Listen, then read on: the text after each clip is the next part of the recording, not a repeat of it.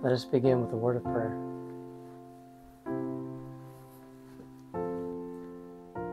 Dear Heavenly Father, thank you for this opportunity to open your word. I pray that you would give us your Holy Spirit that we may understand. In Jesus' name, amen. Amen. Welcome, everyone. My name is Christian Giordano, and today we are going to cover the topic of the beginning of finding your calling. The beginning of finding your calling. Now, this is something that's been on my heart in my personal uh, journey that I've been studying, been desiring to understand, and I just want to share with you what I have found because I believe that it will help you as well. So let us begin. Let's begin with Mark chapter 2. We're going to see from the scriptures what the beginning of our calling is. Now, for those who don't know or may not be familiar with this language, a calling will mean what is your purpose? What did God put you on earth to do? Amen. And I think most people in the world, even if they don't identify as religious, they really want to know that.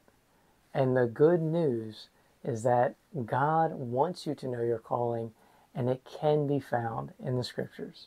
So let us begin with our first scripture in Mark chapter 2 and verse 17.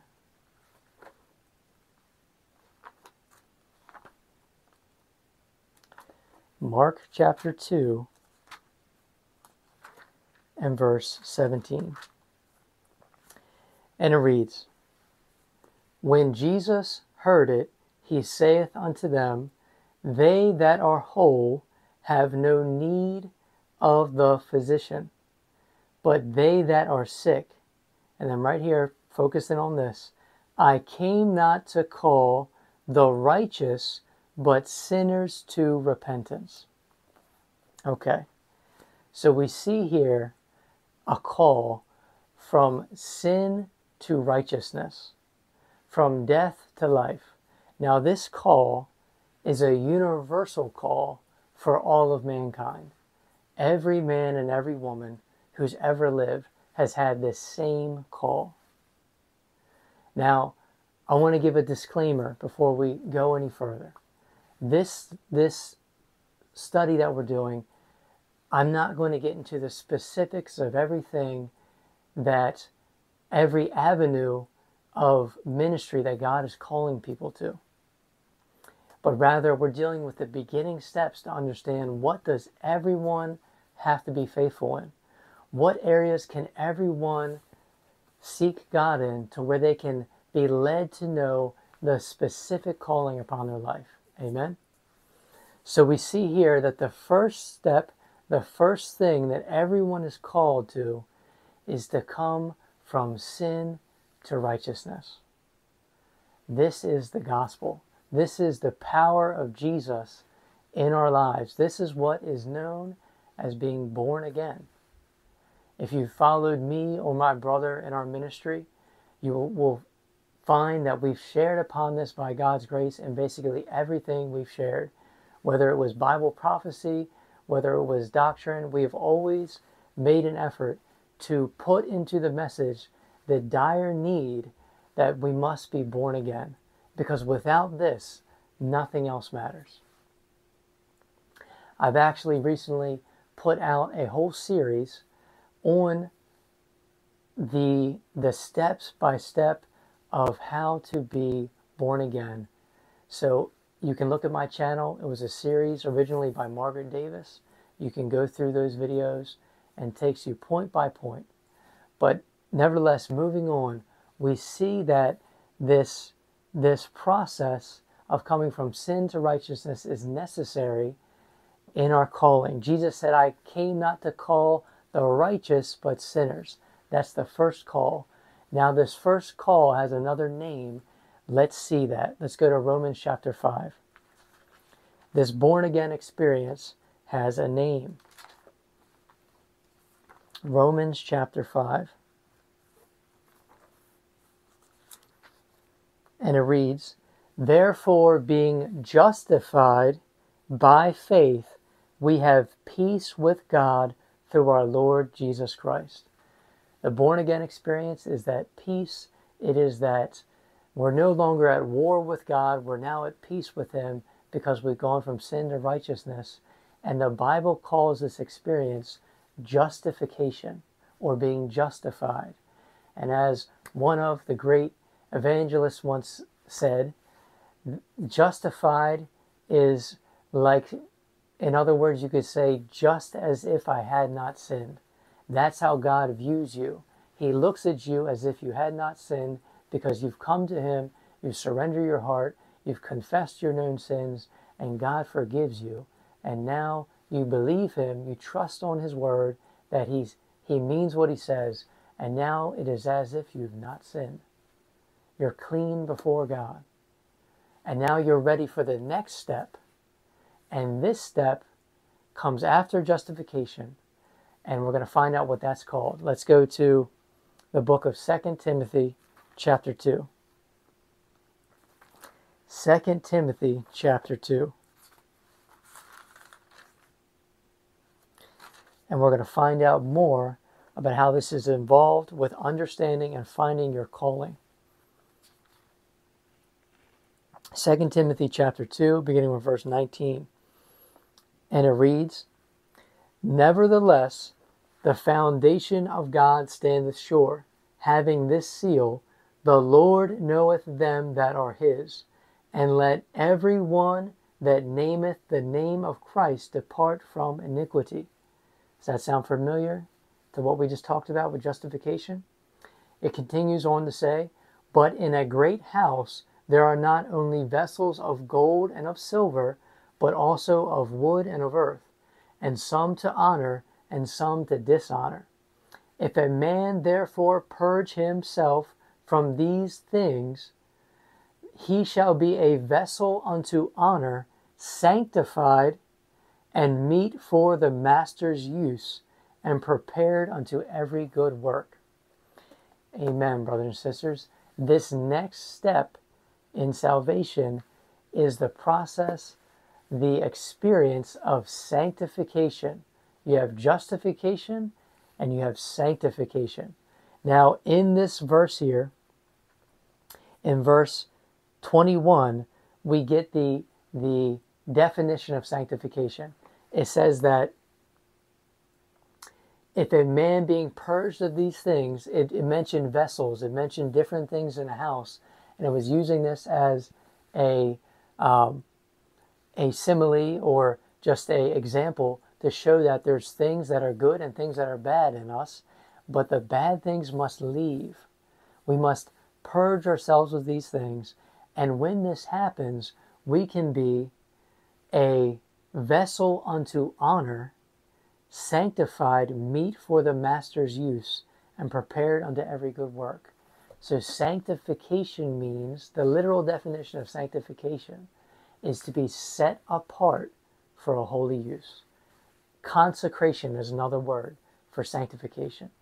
Set apart, consecrated, holy for God's use. Amen. And this is where God's use is our calling. This is where God wants to use us to reach the world. Amen. So, continuing on we we are going to go to First Thessalonians and we want to understand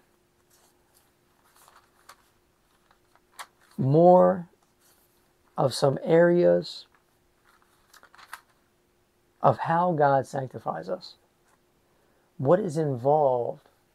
What areas of our life must we give to God in order to be sanctified, which means to be ready for him to use us. 1 Thessalonians chapter 5 and verse 23. It says, And the very God of peace sanctify you wholly, complete sanctification for us. And I pray, God, your whole spirit and soul and body be preserved blameless unto the coming of our Lord Jesus Christ. Faithful is he that calleth you, who also will do it. So here we see that God desires to sanctify us, to set us apart in our spirit, our soul, and our body. And faithful is Him who calls us. What does the spirit mean? The spirit in the Bible refers to our mind, our mental capacity. The soul is related to our spirituality. That's who we are. That's that's our character. And the body is referring to our physical aspect of us. So if God is trying to sanctify us in these three areas, then that means that each of these areas we have to have health. Health of the mind, health of the soul, and health of the body. So, with that in mind, let's look at a few areas that are covered by those, those three facets of man. So, this is in no way an exhaustive list. There's many other things, but these are some of the main areas that everyone is called to be faithful in. These are the foundational areas that God is calling everyone to. Amen. So, let's talk about let's go let's go to John uh, John 17 verse 17 and let's see this first area related to spiritual health. And frankly, it's related to all the other areas as well. It's related to physical and mental. But let's start John 17 verse 17.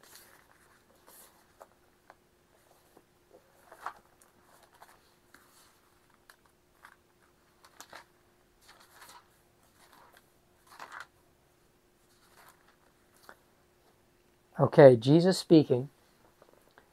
Jesus says, Sanctify them through thy truth. Thy word is truth.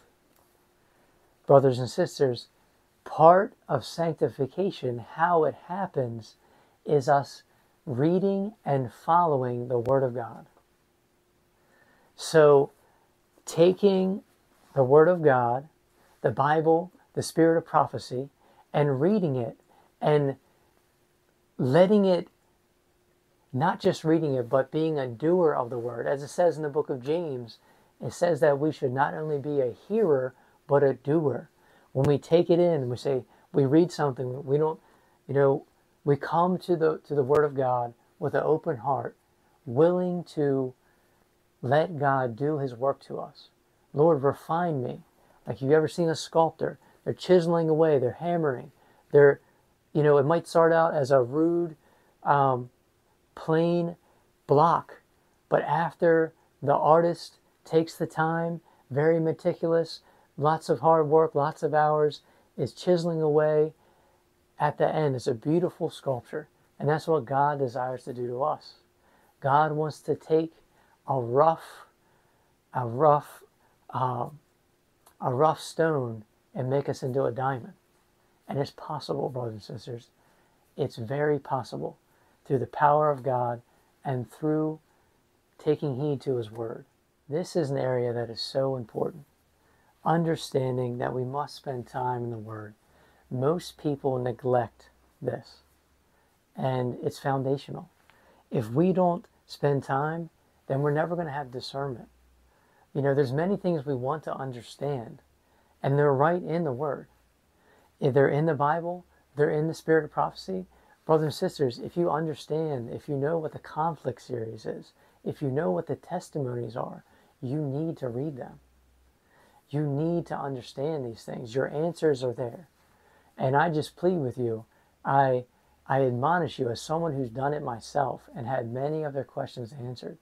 And it's so beautiful the way Jesus has presented is to have a regular devotional life in the Bible and in the conflict, in the spirit of prophecy, in the Christ centered books, in the testimonies, right? Please, brothers and sisters, it will help you so much. You'll understand the work, you'll understand what God is calling you to do. So, we see that that is essential. A reading and studying, and a, might I add, a prayerful reading and studying of the Word of God. So, let's move on to some other areas let's talk about evangelism. Now, I'm not saying that I'm talking about the foundation. I'm not talking about everybody having to go and um, do some mighty work. I'm just talking about being faithful in how you work on your job, how you treat your family members in your home. Do we represent Jesus in the simplest ways? You know, a lot of times we think that we have to say something when, to be honest, usually the more effective uh, method is just how we act, especially around people you know uh, more well, like in your home or in your at your place of work. These people, they see you when you're in perplexing situations. They see you under pressure, and often it's it's more how you deal with situations that's the real witness in those types of ways. So faithfulness in our home, do we honor our father and mother? Do we do we treat our siblings right? Do we treat our children right? Do we treat our spouses right? Husband and wives. This is a foundational aspect. So, moving on, let's talk about physical health. Physical health, let's talk about being faithful in this way. There is so much common sense in how the body works with understanding understanding truth, brothers and sisters. You see, our brain is an organ, and what we put in our body becomes blood. What we eat and drink becomes blood, and the brain runs off of blood. Our brain runs off of nutrients we get from what we eat. So, what we think is affected by how we eat, how we take care of our body. So, we have to exercise, we have to get fresh air and sunlight, we have to have proper nutrition. Let's look at a scripture real quick to show something about nutrition and its effect on how we work.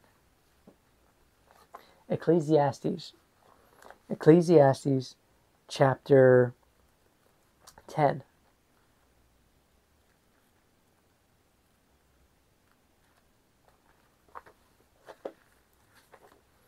You have Psalms, then you have Proverbs, you have Ecclesiastes. So notice this, verse 17, Ecclesiastes 10 and verse 17. Blessed art thou, O land, when thy king is the son of nobles, and thy princes eat for strength and not for drunkenness. So it's talking about proper nutrition. And then it goes on to say in verse 18, by much slothfulness the building decayeth, and through idleness of hands the house droppeth through. Brothers and sisters, what is a, a house a symbol of in the scriptures? First Timothy chapter 3 and verse 15 tells us that it's a symbol of the church. So, we see here in verse 17 that health precedes working in the church. Many individuals want to do a great work in ministry. People say, I want to work in ministry. Brothers and sisters, this is part of the beginning. You must understand health. You must take care of your body. To be a fit vessel to be used by the Lord. Amen. Let's continue on. So another area is is just basics of being a good steward with our time and our money, brothers and sisters. Time we can never get back. All we can do is be faithful now and into the future to try to redeem the time that we've lost in foolishness, Lord, in, in wasting. But if we are good stewards of our time, we can do much. We can do much more than we think we can. We can be much more time efficient. And this is something that's been on my heart to share with people is simple things about how to be a more effective worker. So if you would like to see some videos on things like time and priority management, what the, what the Bible has to say about that, leave a comment, uh, reach out and let me know. And this is some things that we can I can start putting out to help benefit the workers. Amen. So being being a steward with our money, we have to understand that to do the work of God, you have to have money, brothers and sisters. Not always a lot, but with many things you do need you do need a good amount of money. Why? Because people tend to um, they misunderstand the scripture. There's a scripture in the book of Timothy that says that the love of money is the root of all evil. And a lot of people get that wrong. They think money is the root of all evil. No, it says the love of money is the root of all evil. Money in and of itself is not evil, brothers and sisters. Money can be used, is neutral. It can be used for bad, it can be used for good.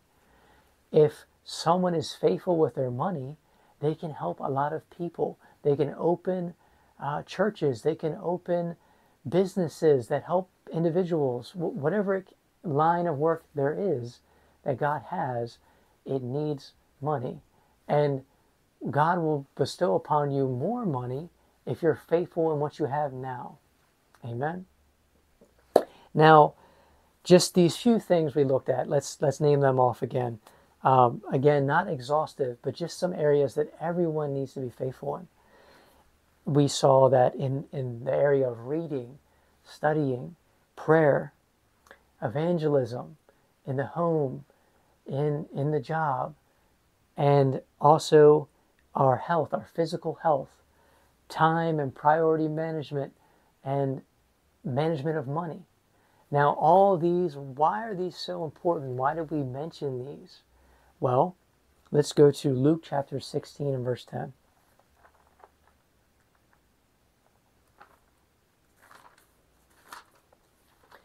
Luke chapter 16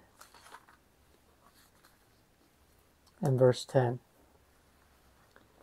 Jesus speaking, He that is faithful in that which is least is faithful also in much. And he that is unjust in the least is unjust also in much. Brothers and sisters, the title of this message was The Beginning of Finding Your Calling. The reason why I titled it that is because many people want to know what is my life work? What has God called me to do? You know, the big picture. And the thing is, is if you're not being faithful in in what in what God has put in your way now, then you're never really going to find out the big picture. God's calling you to be faithful in the least. You know, people say, I want to work in ministry. Are you ministering now? You know, I want to be a preacher. I want to be an evangelist. Brothers and sisters, look, there's preaching is important. But look, the work's not going to be finished just by preachers. The work needs other lines. The work needs health food restaurants. It needs health food stores. It needs uh, businesses that minister to people's needs. It needs um, people that understand real estate. It needs many different things. And if we think that the work of God, the saving of souls, the proclamation of the three angels' messages of Revelation 14 are going to be uh, given and completed just through YouTube, brothers and sisters, we are uh, we are deceived. That's not it. And you know what? I'll be honest. A lot of people that are preaching have no place preaching, brothers and sisters. They were never called to it. A calling produces fruit. What is the fruit of the ministries?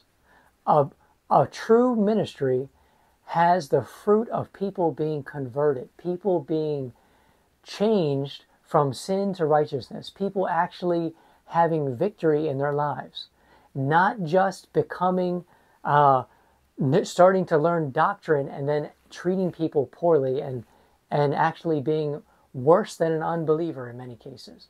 Brothers and sisters, there's a lot of people, a lot of professed Christians, even a lot of professed SDAs who have no idea of how to of how to talk to people. They they like Jesus said, about the uh, Pharisees that you make a convert and he's he's he's worse the child of hell Now, that's strong words, brothers and sisters, but that's what Jesus said. To a church member, Jesus said that to a church, someone high up in the church. And that's the case today. Everything that happened in Jesus' time is being repeated in our time. There are people who, yes, they preach about the mark of the beast and all this stuff, but brothers and sisters, they're not really converted. They're not really, they're not, they're not going into people's homes and actually praying with them and talking to them. Why? Because it's off camera. It doesn't get glory. It's not bringing attention. And you know what, brothers and sisters? The people that don't want to do that are really not burden bearers. That's what ministry is. Ministry is bearing the burdens of those that you're trying to save. So if you want to work in ministry, then start bearing the burdens of the people around you. Brothers and sisters, it's simpler than we think. You know what's one of the simplest things you can do to be a burden bearer? Start praying for the people that you know have problems. Come close to people. Talk to them about their life. You, it won't take very long. You'll start to see where the pain is. Minister to the pain. You see where the pain is, and like Jesus, the great physician, you apply the, the balm to where the pain is. You start to see, oh, this person is struggling in this part of their life, and you start praying for them. You start interceding for them daily. Every day you're praying for them. And brothers and sisters, you claim promises for them.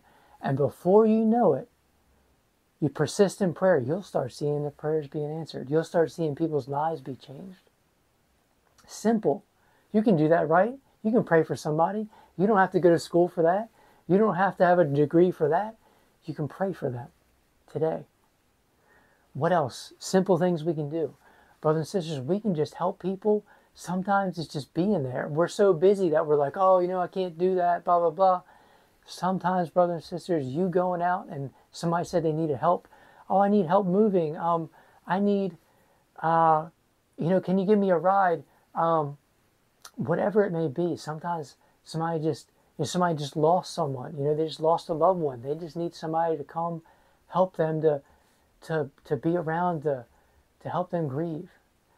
Simple things like this that we often overlook because we want to be, you know, I want to be in ministry. I want to be on camera. I want to do this.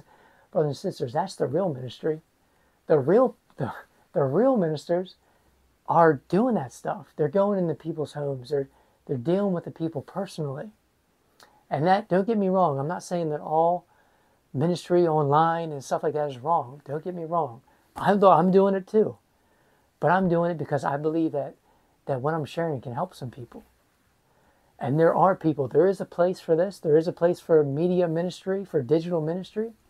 But that's not all, brothers and sisters. That's not total. That's not the total work. So let's go to, we're in the same chapter, Luke 16. Let's go to one more thing. Luke 16 and verse 12, related to what we said about being faithful in that which is least. It says, Luke chapter 16 verse 12, and if ye have not been faithful in that which is another man's, who shall give you that which is your own? So, here's something that has been, you know, I I can attest to.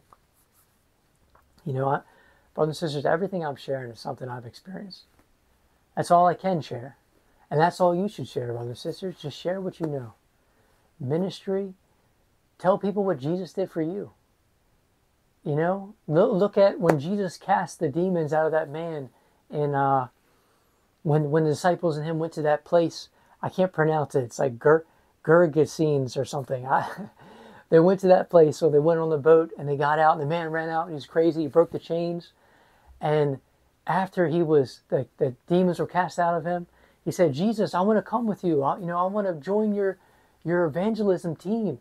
And Jesus said, "No, go back to your home and tell the people what God has done for you." That's what it is, brothers and sisters. One of the simplest forms of ministry. Just tell people what God has done for you. You know, I've knocked on doors before where um, individuals, you know, they might not want to hear what you have to say. You know, oh, I'm not, you know, I don't need it, blah, blah, blah. I don't believe in that. But brothers and sisters, nobody can take from you, you know, just, hey, this helped me. I just wanted to share it with you.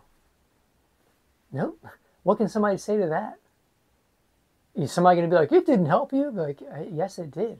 It helped me overcome whatever it may be. It helped me overcome depression, anxiety, fear, worry, whatever. Nobody can take that from you. And that's what the people, people, brothers and sisters, the world doesn't know who Jesus is. They've heard about Jesus, but they heard about a fake Jesus. They heard about a Jesus that doesn't give you victory over sin. The world often rejects the fake Jesus. They reject the real Jesus, not knowing that they think they're rejecting the fake Jesus. But we need to show people the real Jesus. And I'm sorry, I'm getting off my point a little bit, but this this idea of being faithful in the least, it says here that if you have not been faithful in that which is another man's, who shall give you that which is your own? I want you to think about something. Uh, like I was saying, getting back to my point, I'm not sharing with you anything that I haven't experienced. And I have a full time job. I, um, I work in ministry when I can and how I can. Why? Because I believe that I want, I want people to know what God can do, that He can help them.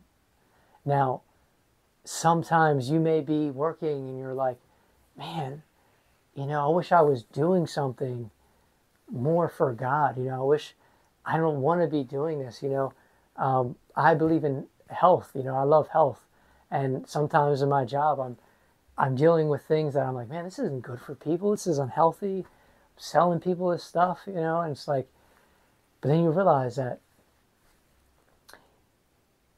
if you have not been faithful in that which is another man's, Who shall give you that which is your own? Brothers and sisters, be encouraged. Be faithful where you are. Be faithful in your job. Be faithful in whatever. And God will take you higher. Maybe God will use you to start a business. You know, whatever line it could be. And if you're faithful in, in someone else's business, maybe you're an employee at someone else's business now. If you're faithful, God may give you your own business. And then and then it can be ran in a better way, a way according to the scriptures. So, God desires to do this for us, brothers and sisters. And I just want to close on this note. Don't worry so much about the future and, you know, figuring out every detail of what's the big work. Just be faithful now. Be faithful in what's around you and and keep close to God. Draw nigh to him in prayer be be um, open to see God's work of providence. Study providence. Study how God has worked in your life, and see opportunities will come, brothers and sisters. And we need to be able to discern when God is opening doors for us. It's not always going to be the right way. Sometimes we have to see, ah, you know what, that wouldn't be the right thing. But through prayer, through staying close to God, through staying in His Word, we'll be able to tell where God is leading, and we'll be able to know where the next step is, where God's leading us to where we will know our our life work, where we'll know the calling, the specific calling God has called upon us. And brothers and sisters, it all starts with having that rest. If you haven't found that rest, the justification, even before the sanctification, brothers and sisters, you can have it today. Let's turn to one one more scripture. I know, I know. I said I was ending, but brothers and sisters, this is important because a lot of people are trying to. A lot of people are trying to work for God. You know, they're trying to work in ministry, but they're being bogged down by care and worry and stress and anxiety, and they need rest. Matthew 11, 28 through 30. It says, Come unto me all ye that labor and are heavy laden, and I will give you rest. Amen. Take my yoke upon you and learn of me, For I am meek and lowly in heart, and ye shall find rest unto your souls. For my yoke is easy and my burden is light. Brothers and sisters, God wants you to enter into this rest. There's a book called Steps to Christ. It's one of my favorite books, probably my favorite book after the Bible. And it says in that book, a very powerful line. It says, The heart that rests most fully upon Christ will be most earnest and active in labor for Him. That's page 71 of the book Steps to Christ. The heart that, met, that rests most fully on Christ, trusting in Him, not worrying about all these things, but just resting in His love, resting in, in that He, he can keep you from falling. Those that do that, that, that find that rest, they'll be the most earnest and active in labor for Him. And one more scripture Romans chapter 8 and 28.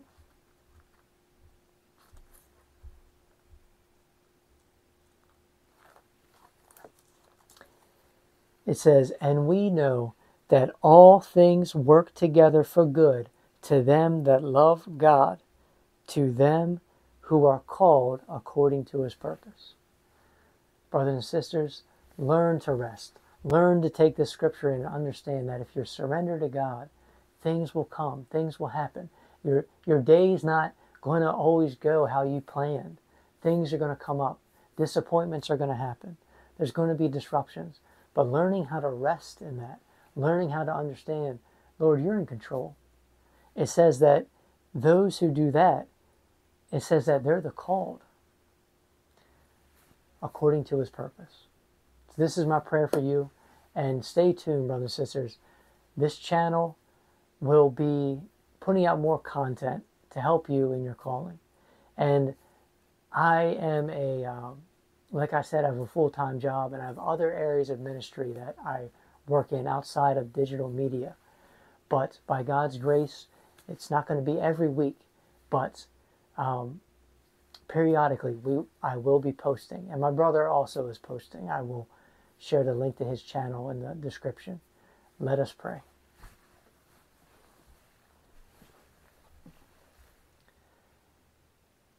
Dear Heavenly Father, Lord, thank you for the clarity that your word gives.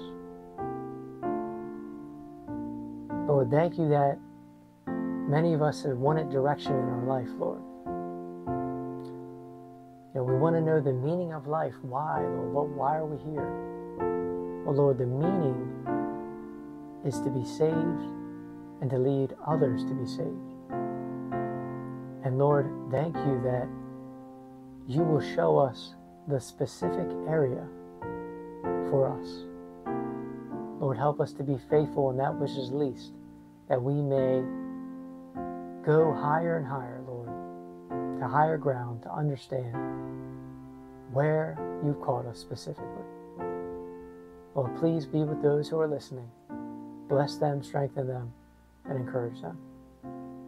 All this we ask, and for the forgiveness of sins, in Jesus' name, amen.